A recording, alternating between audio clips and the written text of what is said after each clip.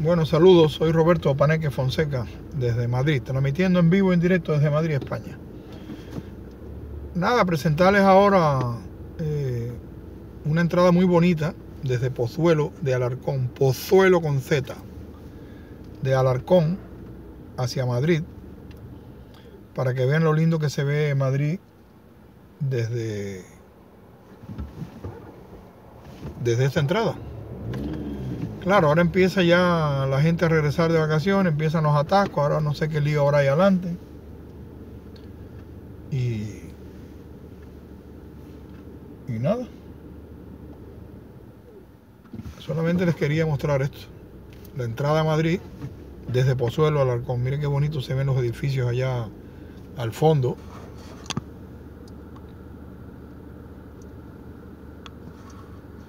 ¿Eh? Están todos muy bonitos allá. Hay una torre que está a la izquierda. Eso que se ve allá a la izquierda por encima de la lámpara, allá arriba al final. Que les enfoqué ahí.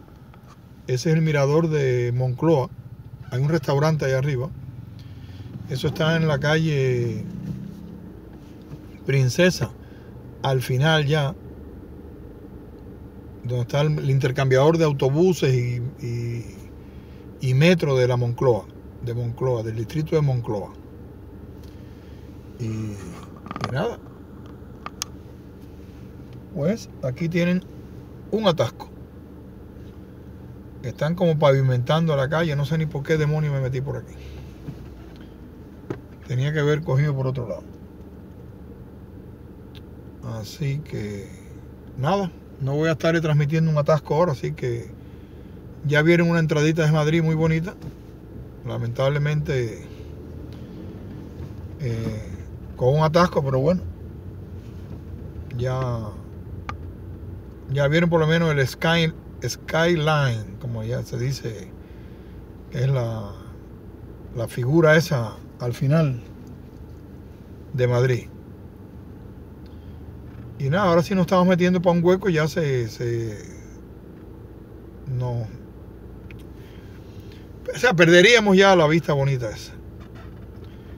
Ahora solamente voy cuando llegue a los carteles ahí para que vean eh, los diferentes destinos desde este punto.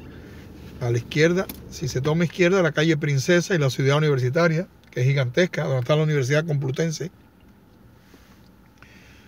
Por el centro, el Paseo del Pintor Rosales, que es bellísimo, y el Parque del Oeste, donde está eh, el Templo de Devot, que el otro día se los enseñé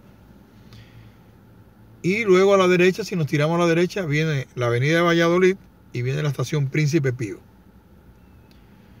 Yo me voy a lanzar por la calle Princesa. Bueno, vamos a ver por dónde nos dejan lanzar. Así que nada, les dejo. Un saludo.